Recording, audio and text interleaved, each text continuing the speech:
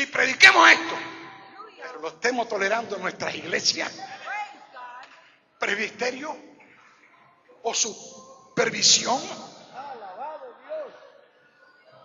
Dios los va a cortar. Porque son un trastorno en esta obra. Aquí somos o no somos. Alabado sea el nombre del Señor. Dios ha hecho grandes cosas con nosotros. Con ustedes también, hermano. Hermano, no le decimos apóyennos, no, no. No le decimos apóyennos, no. Cumpla su responsabilidad. Porque si no, usted será quitado de su lugar y otro va a ocupar el lugar. Como dice la palabra en Apocalipsis. Gloria a Dios.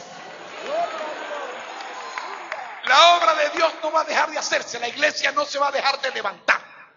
El Señor va a levantar su iglesia. Pero si usted se daña, otro ocupará su lugar. Pero los que tenemos responsabilidades como columna y apoyo de la verdad, de la verdad en esta obra, no nos blandequiemos, hermano.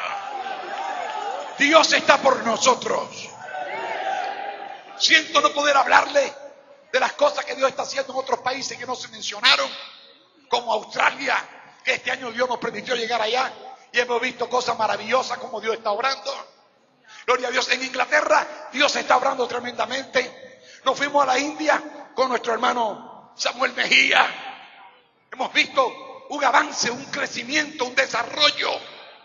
La India tiene ya más de mil millones de habitantes. Es el segundo país más grande del mundo.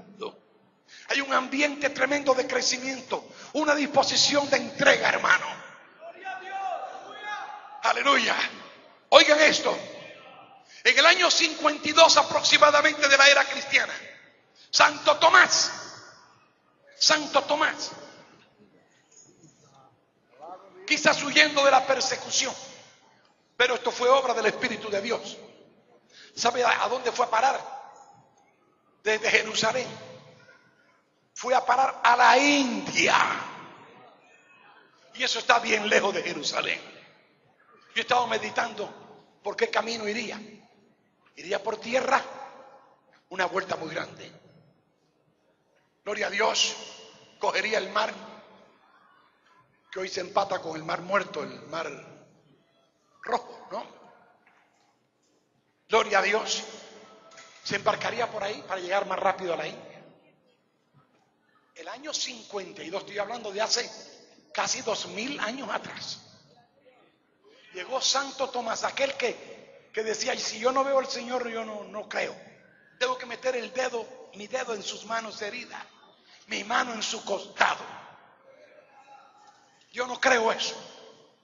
Ese que vio al Señor y lo reconoció como su Señor y su Dios. Ahora coge una trayectoria para llegar a la India. Ir a la India cuesta muchas horas de viaje, hermano. Solamente de, de Inglaterra a la India tomamos unas nueve horas. Nueve horas. En avión. Eso por, por un barquito de aquel tiempo costaba meses. Meses. ¿Cómo llegó Santo Tomás a la India? ¿Y dónde llegó? A un pueblo, hermano, que si hoy es una ciudad de unos 6 millones de habitantes, en aquel tiempo eso era una, una tribu, hermano, un caserío, una aldea, una aldea. Y se metía a orar en un lugar de rocas allá, porque la religión que tenían ellos ya era una religión anticristiana. Pero allí estuvo trabajando él más de 20 años en la India. Ese fue un misionero. El idioma que se habla allí, se dicen, los de esa región, dicen ellos, que ellos llegaron ahí de sus padres, traían el arrastre de la información Porque venían de un lugar donde habían hecho unas torres muy grandes para escapar del juicio de Dios. Y de pronto se les confundieron las lenguas a todos ellos. Eso es lo que hablan ellos allí. Y están contando una historia no escrita, pero sí que pasó. Verbalmente. De la familia. Gloria a Dios. Es decir, que ellos vienen de aquella confusión en Babel. Ellos dicen que de ahí vinieron. Gloria a Dios, ahí llegó Santo Tomás. Gente de diferentes idiomas. Hay más de, creo que hay como tres mil lenguas diferentes en la India, hermano. Y no se entienden ellos mismos unos con otros. Es posible que vengan de Babel. Alabado sea el Señor. Pero lo que sí le digo es que ya se están entrenando hombres en todos esos idiomas, en esas lenguas. Porque el Señor dijo, este evangelio se predicará en todas las naciones a toda criatura. Y ya estamos llegando. La convención fue gloriosa, hermano. Saludo de la India, hermano. Dentro de sus capacidades están trabajando. Está en un avance tremendo. ¿Quién dice que esta obra no existe en África? ¿Quién dice que esta obra no existe en Europa? ¿Quién dice que no está avanzando? Estamos avanzando porque Jehová está con nosotros, cual poderoso gigante. A su nombre, gloria. Hermanos, muchos de ustedes han venido acá, emigrantes, han luchado por tener la residencia y muchos la nacionalidad.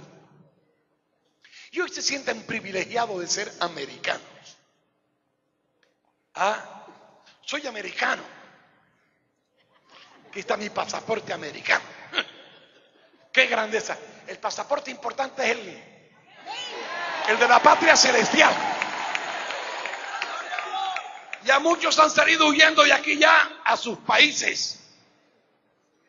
Y otros están pensando, están ensayando ya, eh, preparando la montura para el caballo para salir huyendo de acá.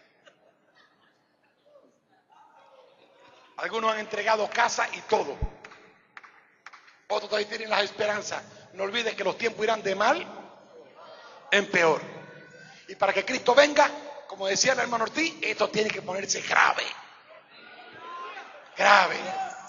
Y cada día más países están aprobando el matrimonio de hombre con hombre y mujeres con mujeres. Eso dice, Cristo está a las puertas ya. Pero escúcheme y voy a terminar. Voy a terminar. Escúchenme.